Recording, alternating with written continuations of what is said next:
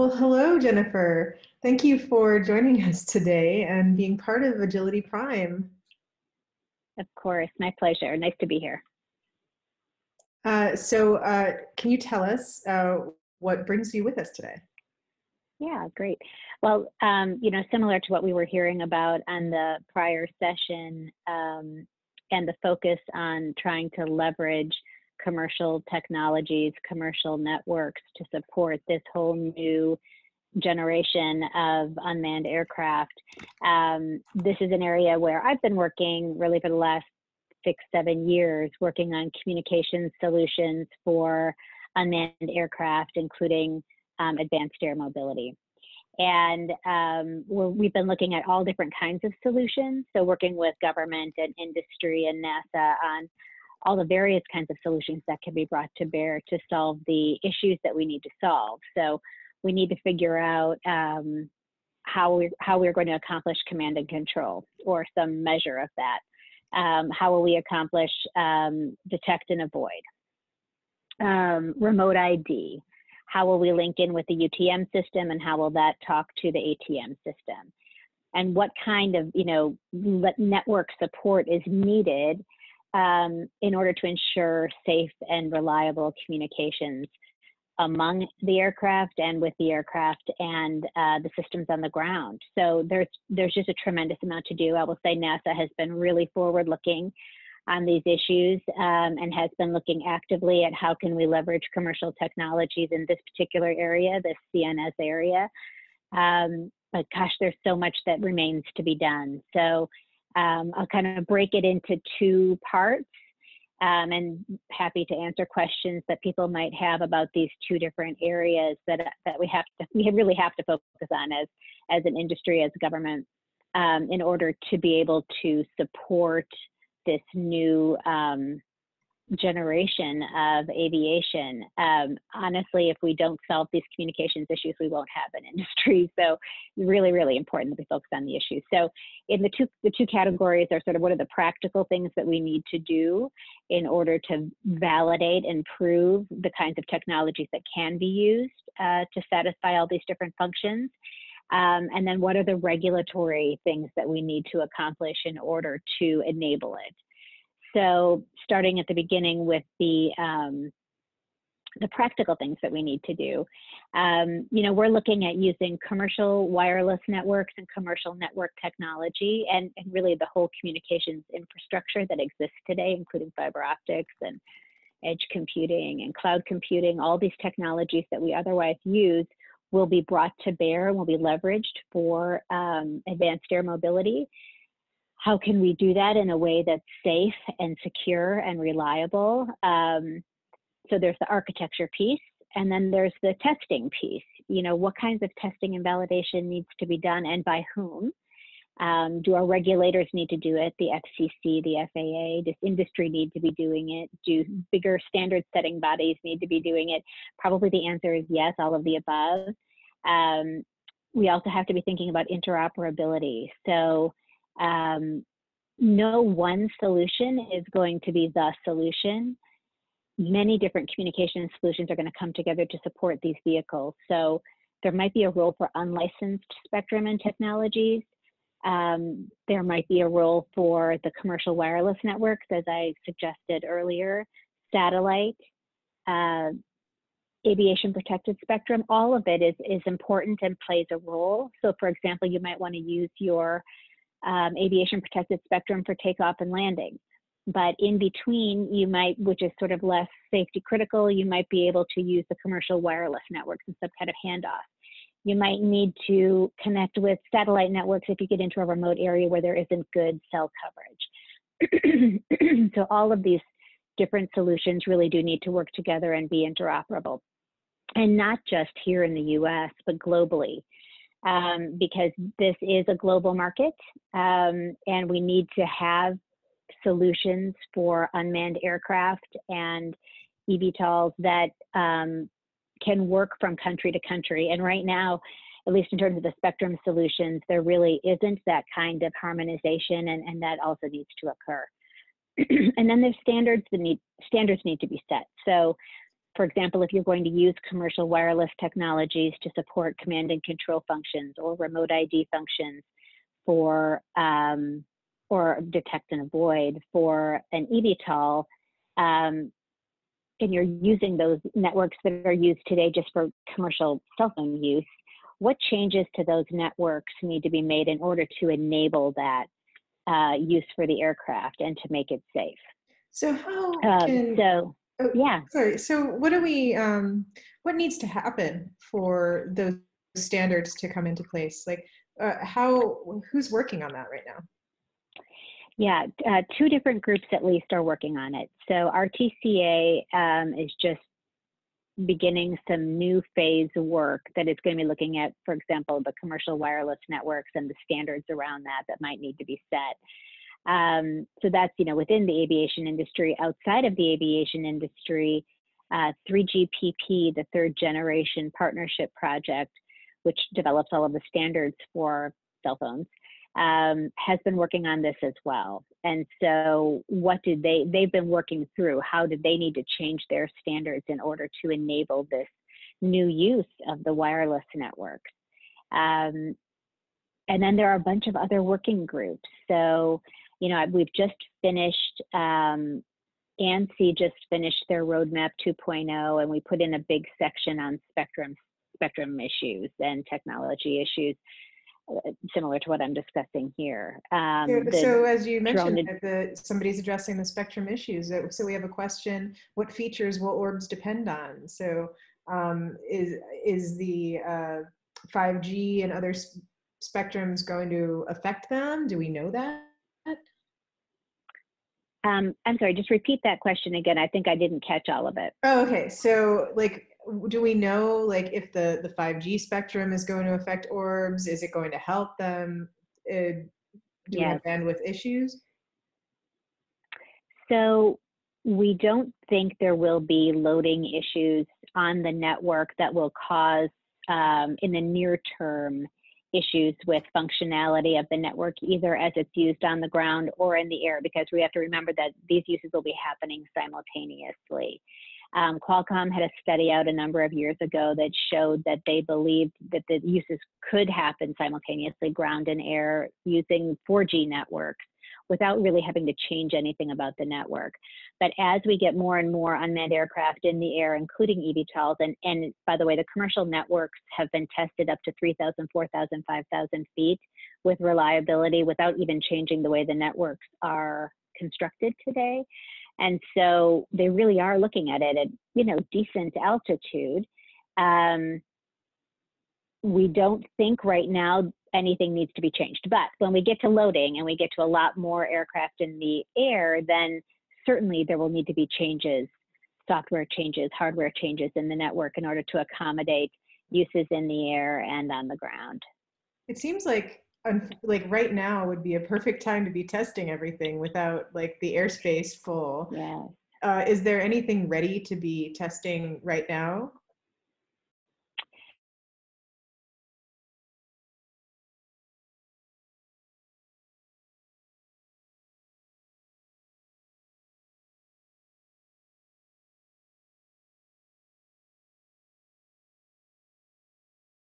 There are some metrics that we worked through with the FAA um, to to study uh, that and to make sure that information about the testing is coming back to the FAA in a manner that is somewhat standardized and can be um, utilized um, and studied and understood so that they can develop the right regulations around this.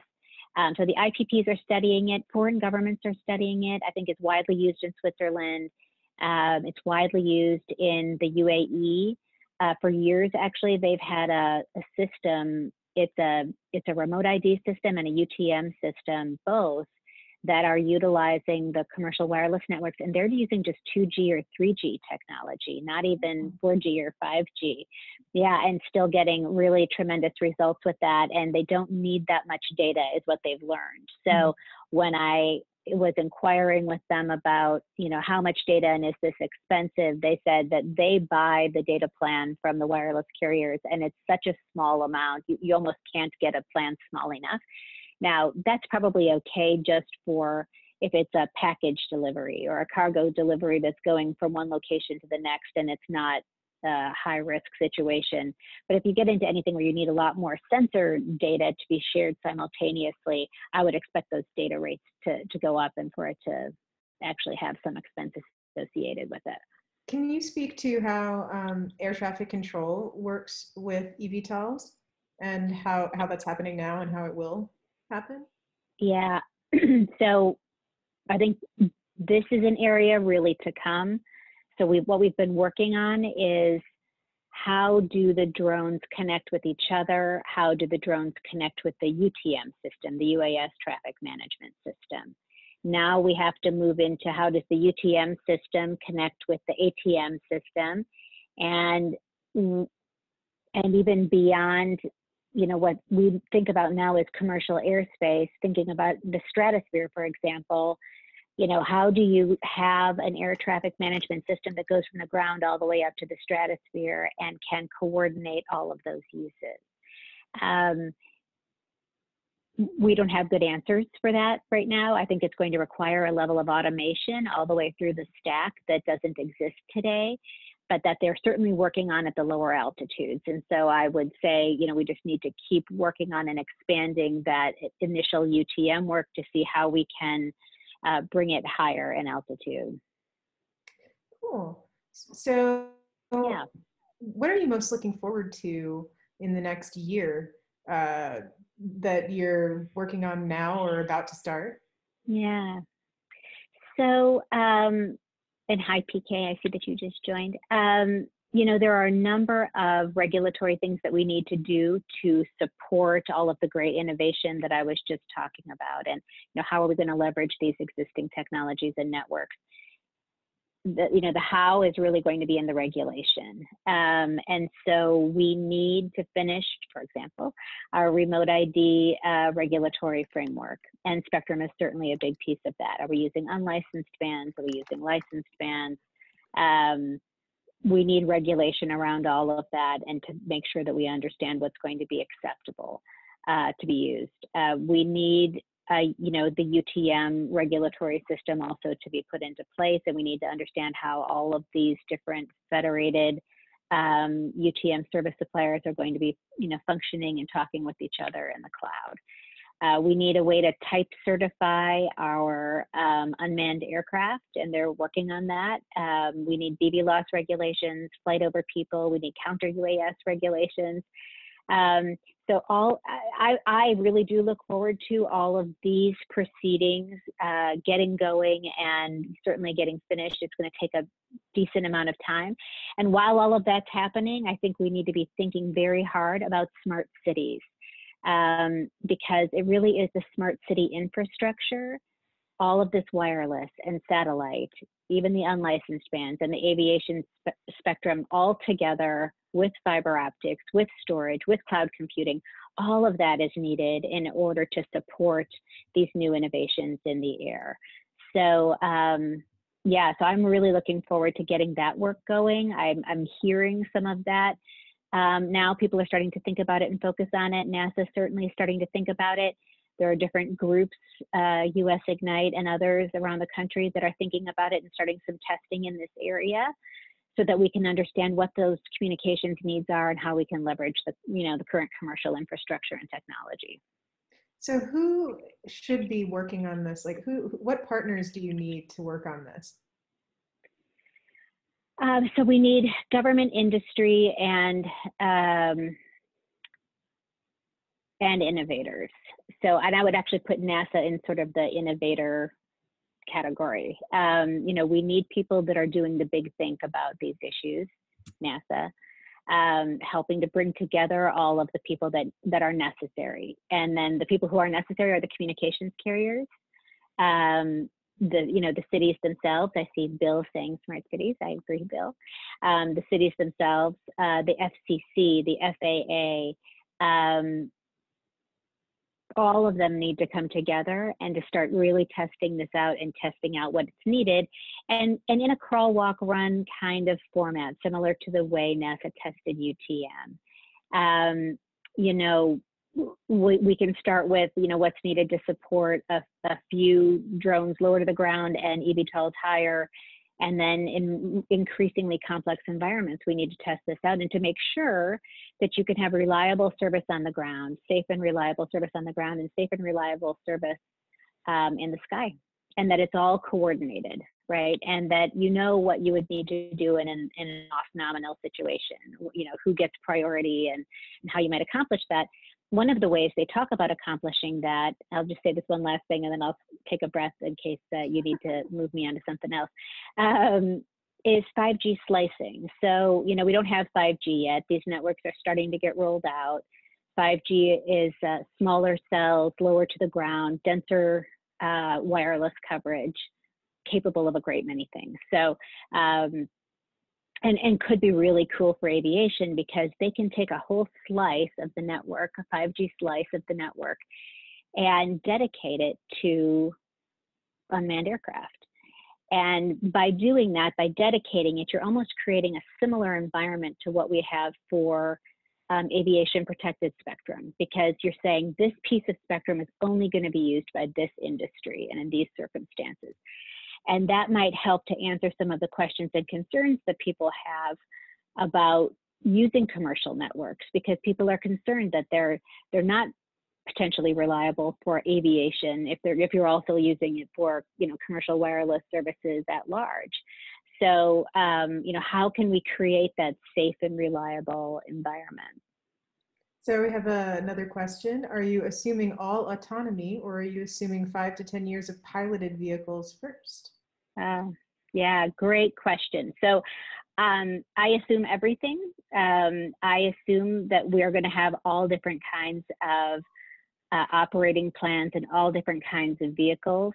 And certainly, you know, when we talk about the spectrum needs, we we always fold in what is the level of autonomy on the vehicle? How much spectrum does it need in order to operate reliably? How often does it need to connect to the network?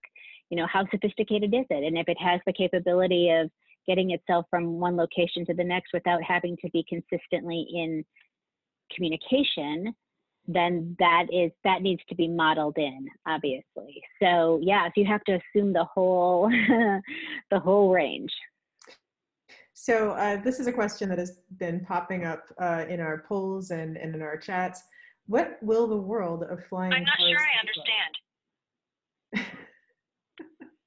I'm sorry, just say, ask me that again. Well, it sounded like your phone popped up.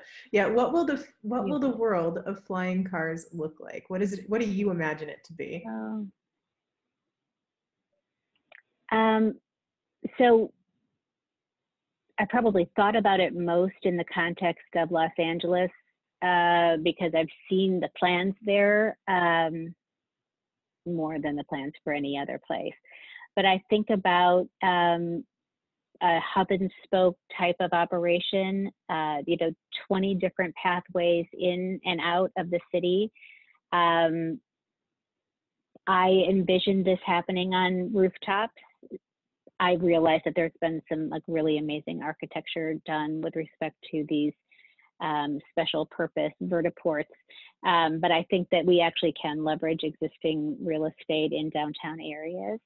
Um, I mean, I envision a, a world where we are all getting where we need to much faster, much safer, um, less congestion, fewer cars on the road. I, I really do envision a world where this is going to make a positive impact. Wow, that's amazing. So, and when do you think that this is going to happen? Mm. that's the we should put PK on the hot spot. Um, that's the magic question. Um, I think uh, it.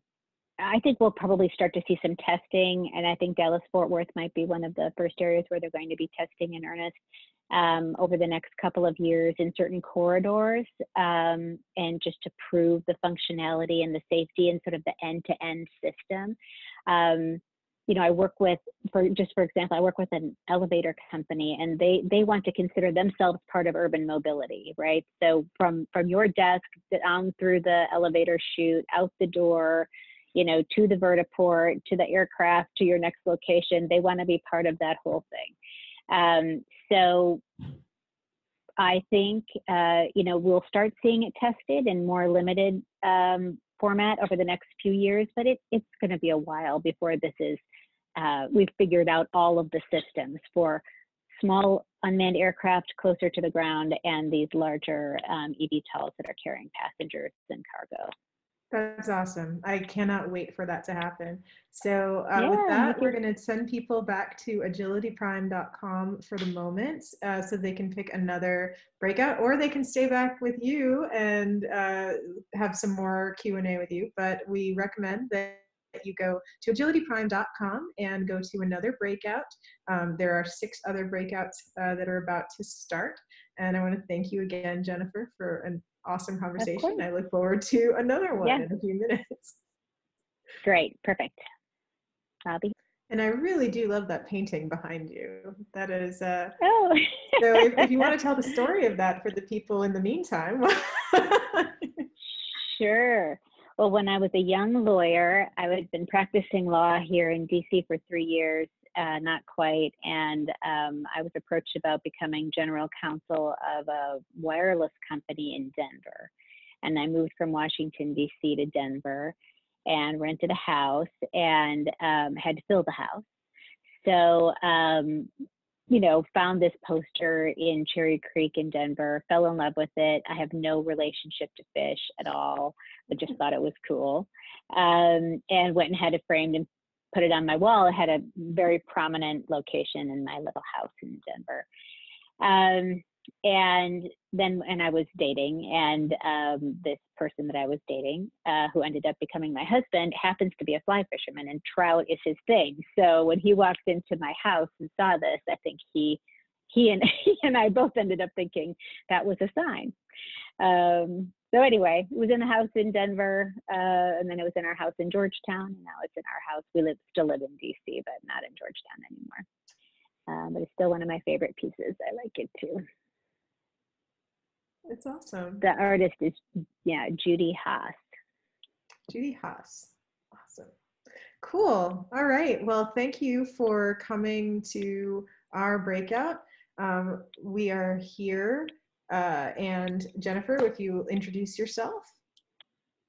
Sure. Hi, everybody. I'm uh, Jennifer Richter. I'm a partner with Akin Gump in Washington, D.C., and I've had the pleasure, really, of working on some pretty complex puzzles um, with NASA and the FCC and the FAA and industry over the last few years about how are we going to connect unmanned aircraft uh, with each other, with the ground, with UTM systems, with ATM systems. Um, what are those communication solutions that we need? So we're talking about command and control and detect and avoid and remote ID and um, I'm sure I'm missing some, um, but all you know, all of these different communication systems that are really essential and foundational in order to have safe and secure and reliable flight. So you were, we were talking a few minutes ago about the regulations that need to be put in place before orbs become a reality. Can you give us some information yeah. about that? Yeah, um, there's actually quite a bit that needs to be done. So uh, right now we're in the middle of the remote ID rulemaking um, at the FAA. We, all the comments have been filed, I think 50,000 comments. And having a remote ID system is really foundational. Um, of course, we need to have ways of identifying and tracking these um, unmanned aircraft. Um, then we also need rules and regulations for uh, UTM systems.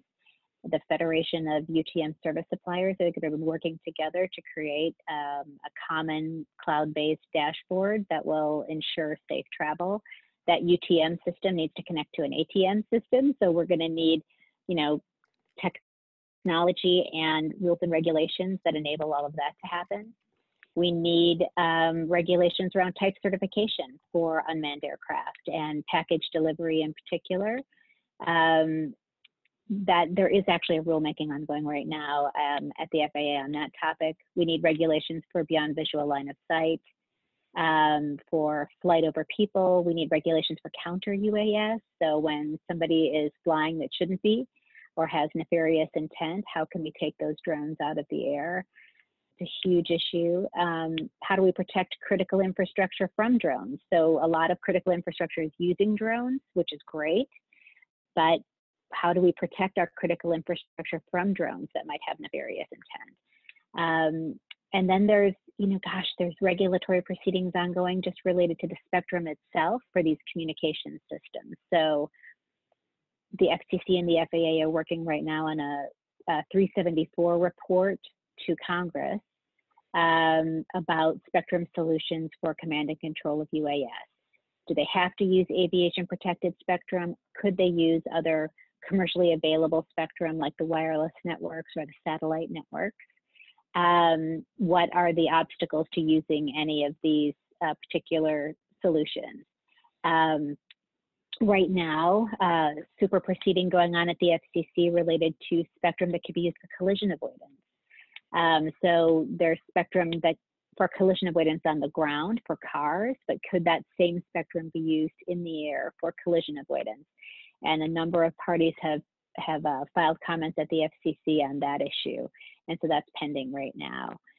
So that gives you a flavor. There's just a ton that needs to be done. I mean, really, and we talked about this the last session, both from a practical perspective, from like the testing and the standards, that all needs to be done. Um, and then we need the regulations that will support all of that. So one of the things that I spoke about yesterday uh, with uh, the CEO Matt Chasen of Lift Aviation, uh, Lift Aircraft, oh, yeah. sorry, um, is that a lot of these UAVs, uh, sorry, a, a, lot of the eVTOLs are um, one one person only, one pilot. So the training is going to have to be uh, virtual. So one of the like so how are we going to have to do the licensure for the pilots if it's going to have to be virtual?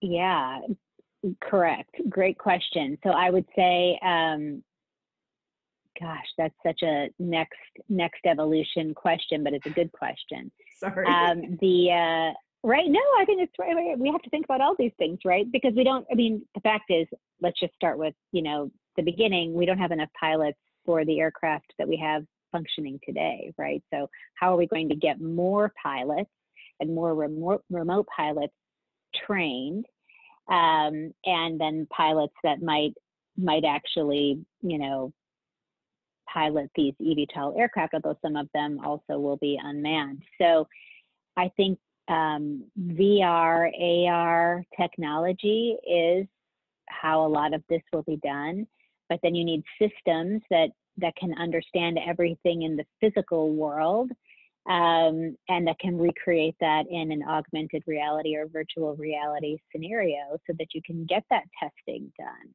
I mean, it's probably similar to the flight simulators that NASA and, and the big airlines are using today, but we have to think about new paradigms. And, and we have to regulate those as well and come up with the licensure and, and all that. So it has to be focused in with that.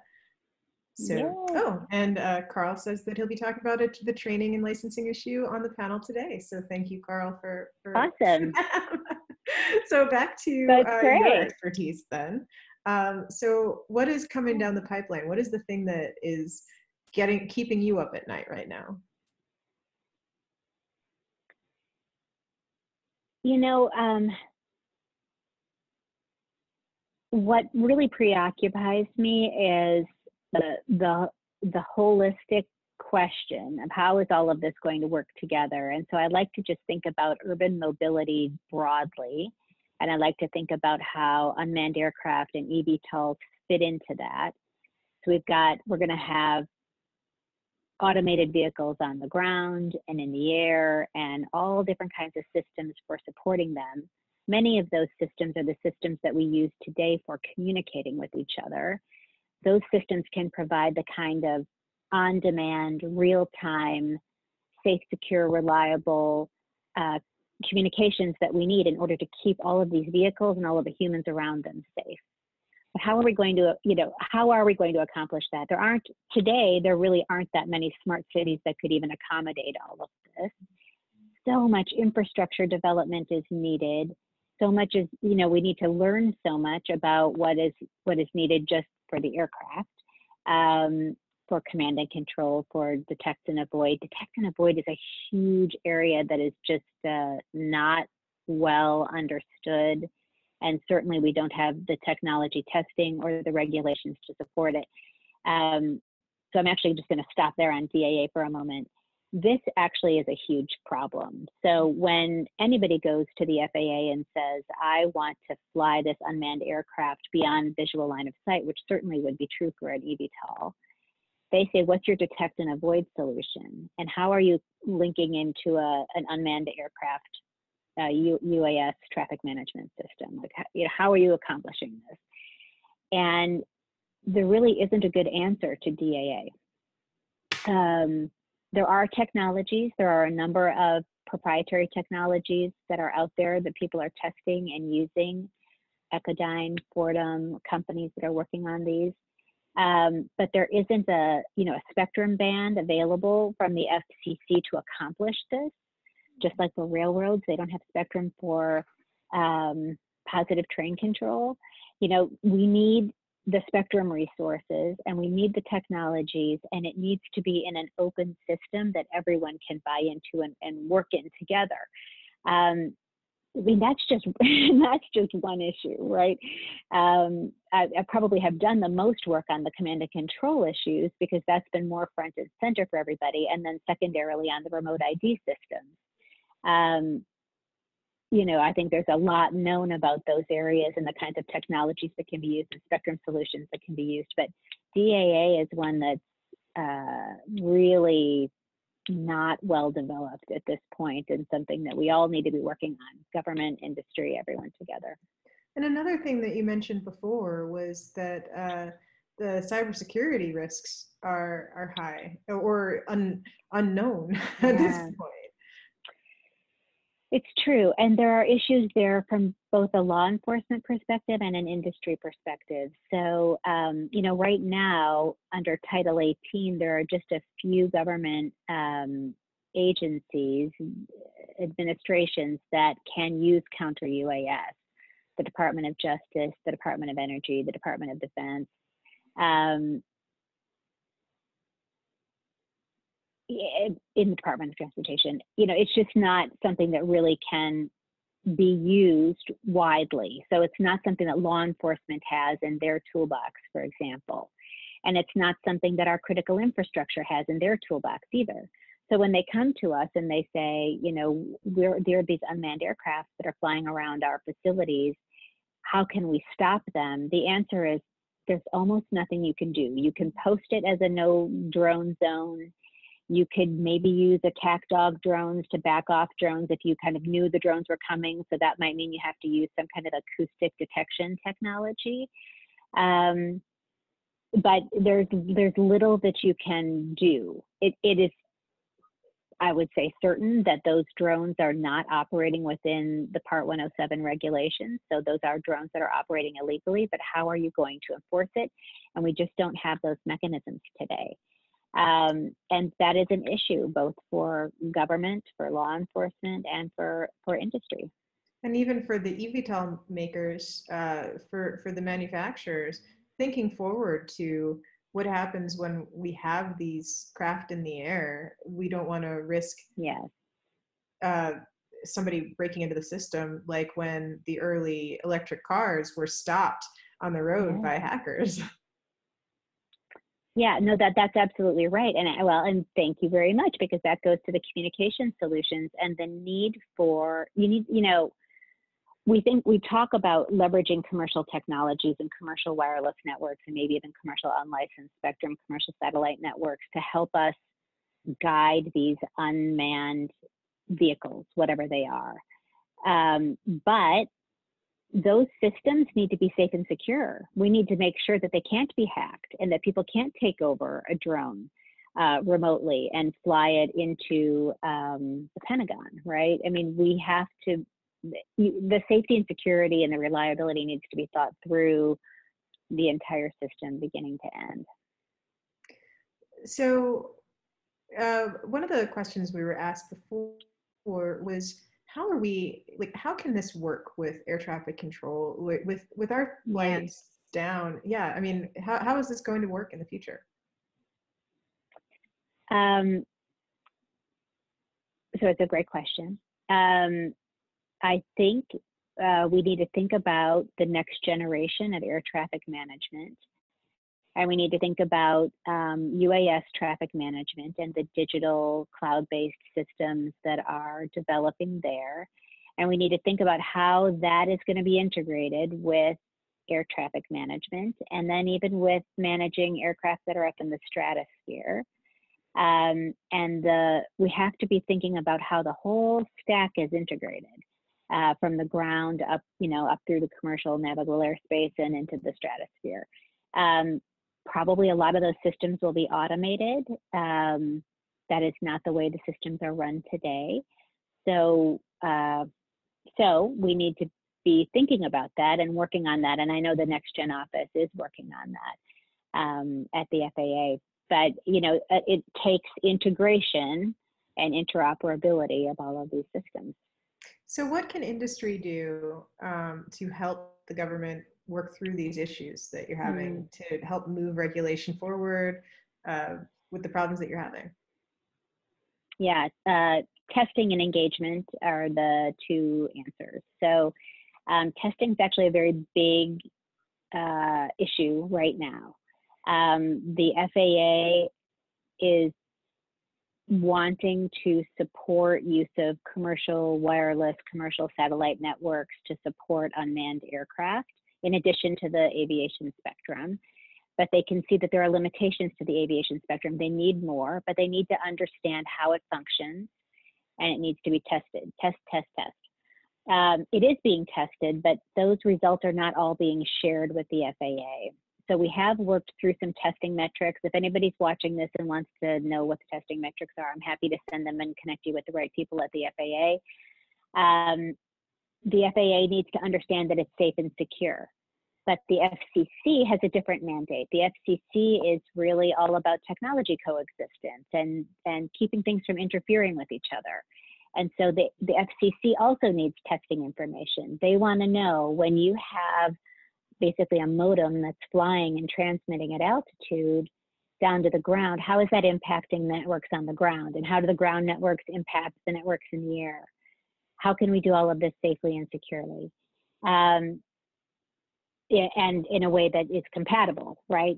Technology coexistence. So uh, the FCC also needs the testing information. So um, as we think about, you know, thematically, as we think about leveraging commercial technologies, network systems that are available today for other purposes, we these are great ideas and the government wants to embrace them, but they can't do that without the testing. And so a lot of testing needs to be done. I'm hoping that NASA will lead the way on some of that.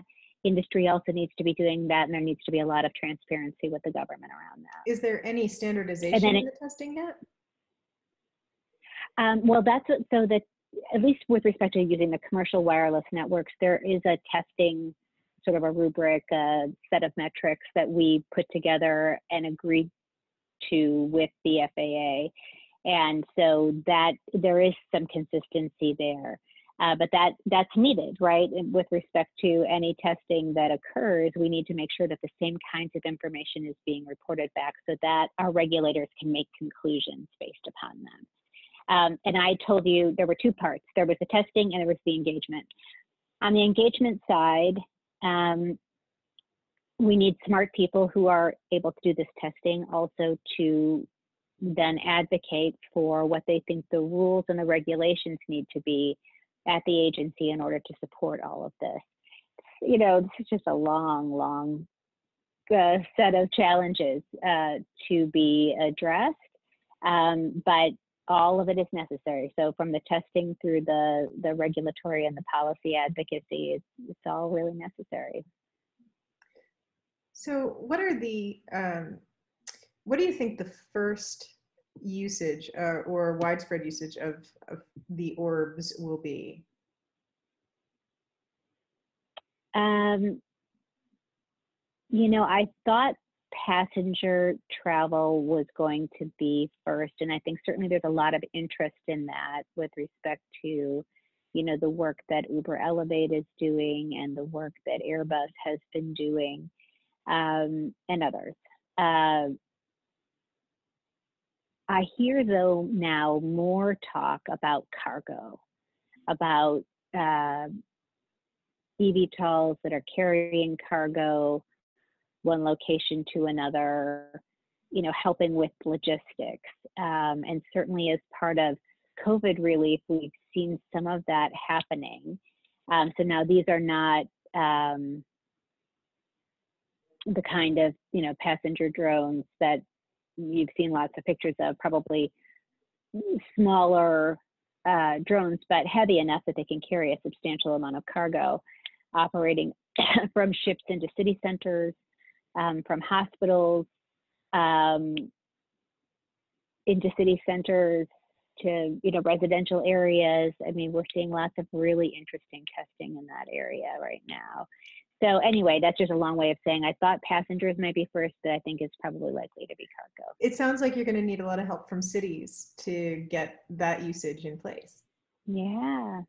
Yeah, but definitely. Yeah. I mean, partnering with cities is probably the number one thing on a development plan. So when you have a bright idea that you want to bring this really cool new technology to a city, you've really got to sit down with the city managers and politicians right from the start and explain to them what you intend to do and what the benefits for the community might be and what you need from them. Um, what kinds of assets do they have that they could bring to bear and what, what kinds of benefits can you bring to the community?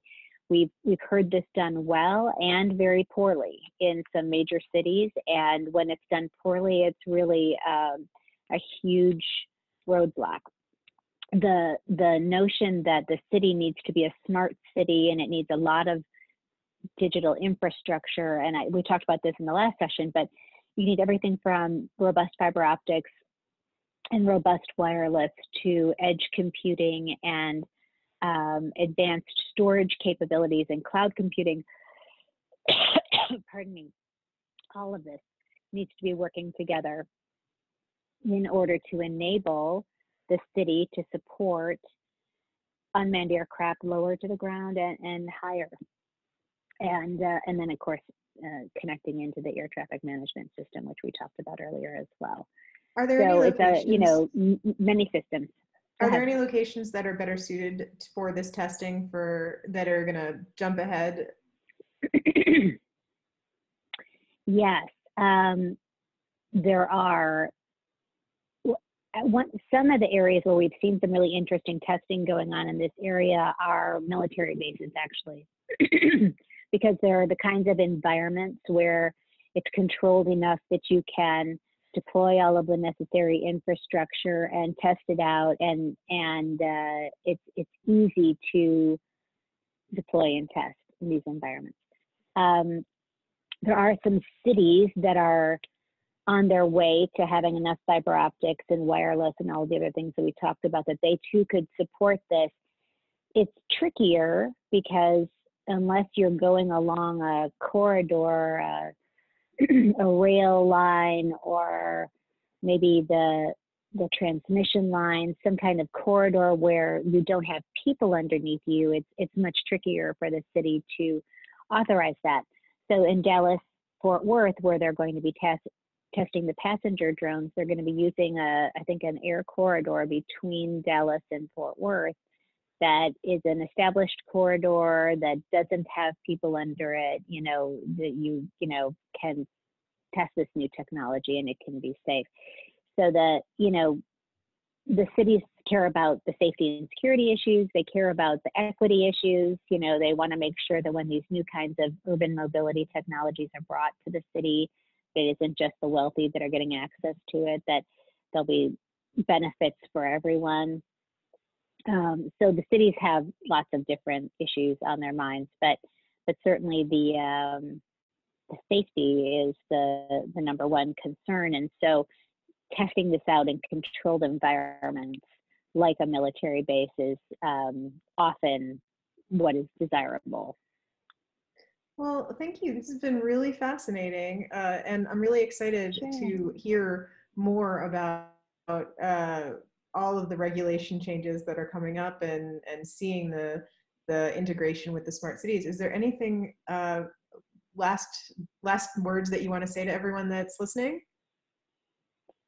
Um, no, I guess I would just say these are really um, exciting and challenging times, right? Lots of challenges and opportunities, but uh, the the future of what we're all creating together really is exciting. Um, and I think that these advances will be um, improving uh, life and environment uh, for all of us. And so it's, it's just going to take a tremendous amount of hard work by all of us together, industry and government pulling together uh, to find the right technologies and test them out and get them deployed and get those right regulations in place. Great. Well, thank you, Jennifer Richter. Um, everyone, please head back to agilityprime.com and uh, you'll see this afternoon's session about to start. Thank you so much. Thanks, everyone. Bye-bye. Bye.